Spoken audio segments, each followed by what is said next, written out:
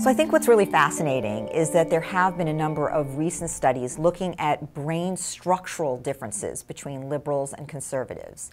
And what's been found uh, in several studies is that liberals tend to have a larger anterior cingulate gyrus. That is an area that is responsible for taking in new information and that impact of the new information on decision making or choices.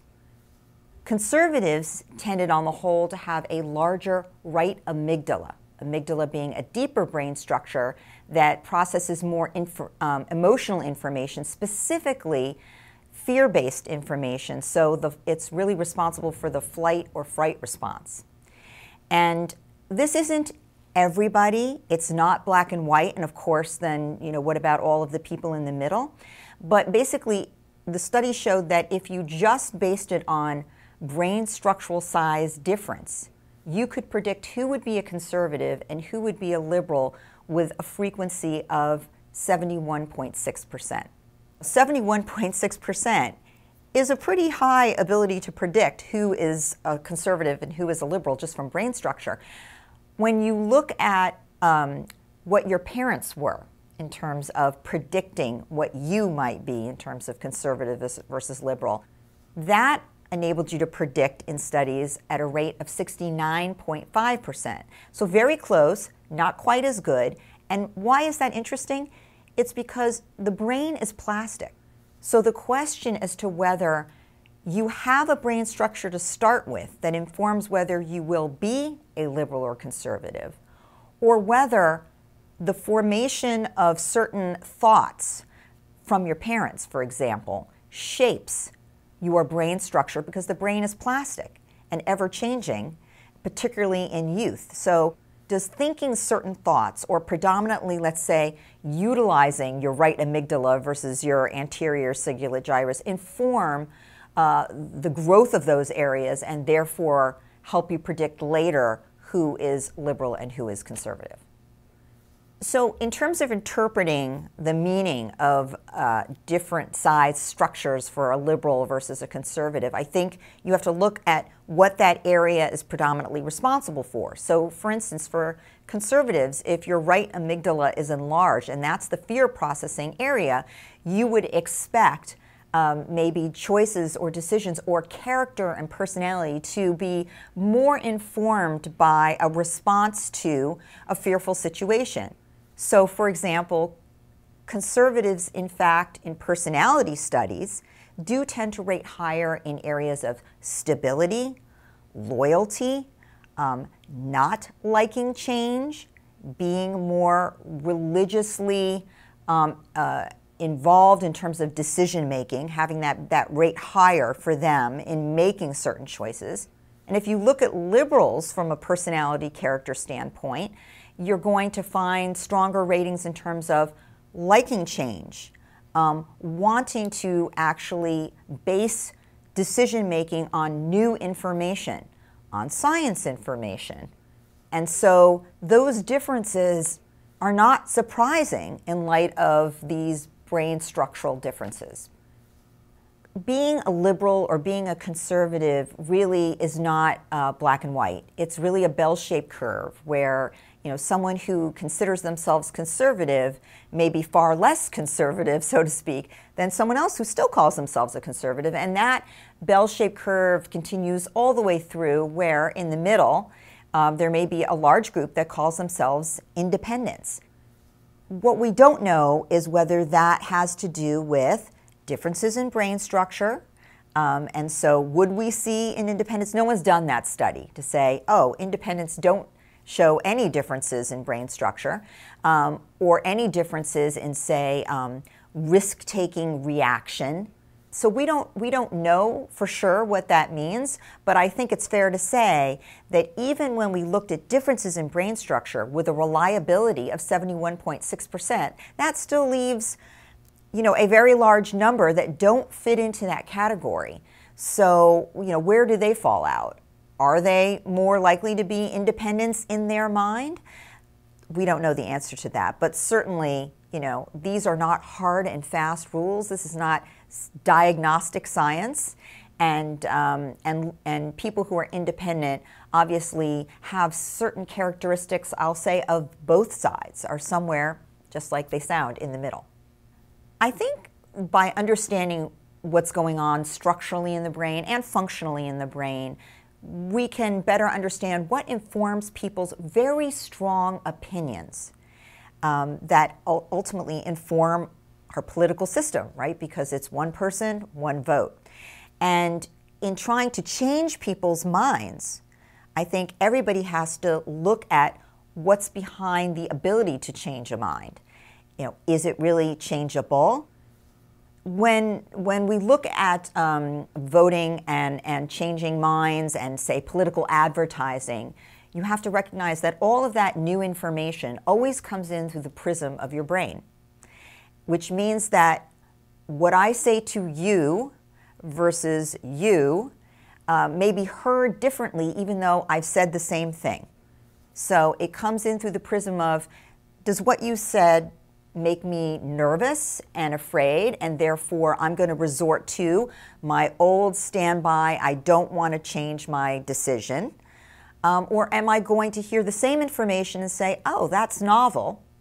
I have a receptivity to novel information. Therefore, that's interesting to me, and I'm going to think about whether I might change my mind based on that new information. I think that's what the science is basically saying to us that there are going to be some people who are going to hear the information and retreat to their original thinking, and other people who are going to hear new information and say, that really does change my mind. If we're trying to um, have a society that um, will work in its own best interests, let's say, then we do want to be able to communicate with one another. And so if you're a liberal and say you want to talk to a conservative about gay marriage, you want to have in your mind um, how it might still speak to loyalty, stability, and religious belief in some way. That you want to have those ideas inform your communication as opposed to simply saying but you know this percentage of the population is homosexual and therefore you know we should consider whether everybody should have those same rights. And you know science shows it's not a choice. It's it's simply a fact you're gay or not gay. Um, and therefore shouldn't those people have the same rights? That's not the best way to appeal perhaps to a conservative on this issue. You want to appeal to them in terms of how for example, uh, marital rules or history might be maintained and not really altered for those who are in, let's say, a quote, traditional marriage. Um, how it won't interrupt the fabric, for, for example, of their lives, of the rules that they adhere to. Those kinds of things would be more appealing to them, whether or not that might be the most appealing argument to you as a liberal the truth is, a conservative is more likely to be able to appeal to a liberal using novel new information that is science based um, and showing certain facts and allowing for um, it not necessarily to be purely religiously based, um, that not be the rule system, so to speak, by being empathically understanding, and by that I don't mean sympathetically understanding, I mean truly being able to stand in the other person's shoes and have some insight into where their brain is directing them and appealing to that argument. So, if you are a conservative, you will want to appeal with new information um, because liberals are more novelty seeking potentially. And, um, and often science based is a good way to present new information. Part of what's difficult um, in terms of what I'm seeing now is that actually people are tending to double down on their own style and what appeals to their own group of thinkers. And that is increasingly preventing the kind of communication that would be important to our future so that we can't, so to speak, cross the aisle because it would require trying on for size the thought pattern of the other group. It would be saying, you know, I, oh, you know, I feel, and that's hard to do. I, let, let me say that is difficult to do. So if your amygdala is screaming at you, you know, run for the hills or, you know, double down and fight, it's hard to say, well, let me take a step back um, and not have a fear based reaction, but instead present the science or present the new information. A good example would be that of gun ownership. If I speak about gun ownership to a liberal group, they automatically have thoughts probably about, particularly if they're in an urban area, crime um, and danger, um, because statistically, that is what they have been privy to. The information has been given to them about how many homicides are committed, who is, you know, dying by gun violence, etc. If I speak about gun ownership to a conservative group, they are more likely in their loyal, stable way to think about a sportsmanship, hunting with family, particularly again if they're in a rural area, because that is what they grew up with. That is what um, has been stable for them. That is the memory um, that they have about guns. And so um, you can see how that's coming from two completely different directions, perhaps the same word, gun. And that it is hard to stand in the shoes, for, for example, of the, of the other group um, so that you can, you can come to make um, decisions about it. So, for example, the CDC has been prevented from doing any research so that we could have new science about uh, gun violence as a public health issue uh, by actually the conservative um, political group has said, you know, you, you can't do research on this area. Um, we won't call it a public health issue, um, and therefore um, you're, you're prevented from getting dollars and prevented from having research into gun violence per se. And that comes probably from a fear position that um, if there is any new information that sways uh, opinion, um, we will lose our loyal standing to something that we firmly believe in and, um, and harks back to very pleasurable, comforting memories from earlier life. So it's very complicated in a certain kind of way. You know, the liberal group is wanting there to be this research, not necessarily to take guns away, but to say we'd like to see the science to validate whether or not certain things about guns are good for us or not good for us.